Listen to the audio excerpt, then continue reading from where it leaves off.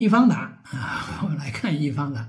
易方达呢是相对稳健的，对吧？易方达呢甚至都把宁德时代剔除在它的十大重仓之外啊。易方达十大重仓是少数没有宁德时代的基金公司啊。那么它今年的开局呢也很惨啊，也很惨，只有两个股票呢是上涨的，一个呢就是腾讯啊，涨了百分之三点三啊，另外一个呢是招行，涨了百分之三点二六。那这两个是涨的，其他的都跌。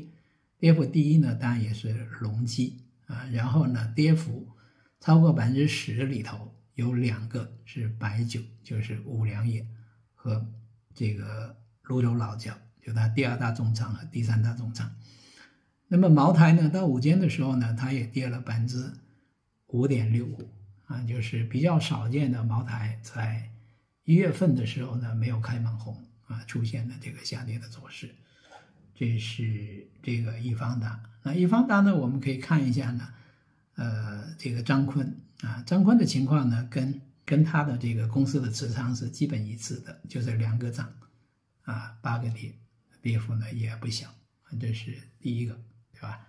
第二一个呢，我们来看广发啊，广发呢今天有三个涨和七个跌，这指的是今天。啊，那广发呢，在今年一月份的十大重仓股，没有一个涨的，全部下跌。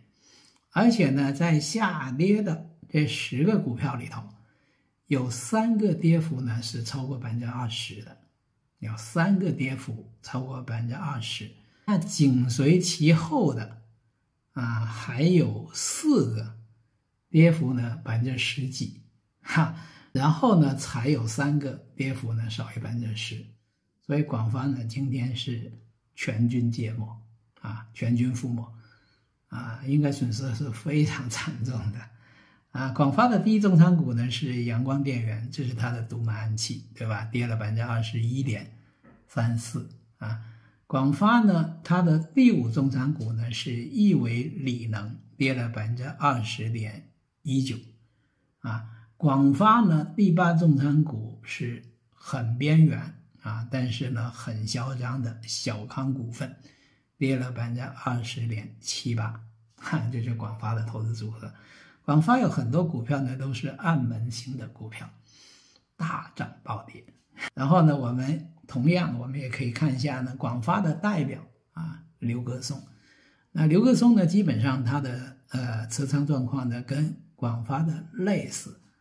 然后呢，跌的更加的凶猛，对吧？啊，最小跌幅呢是百分之三点一二，是这个叫京奥科技，啊，最大跌幅呢是啊，就是阳光电源百分之二十一点几，同样呢是有三个股票啊，跌幅呢超过百分之二十啊，所以这些大牌的基金经理呢，今年的开局都非常的差，是大净值然后爆拆啊这么一个状况。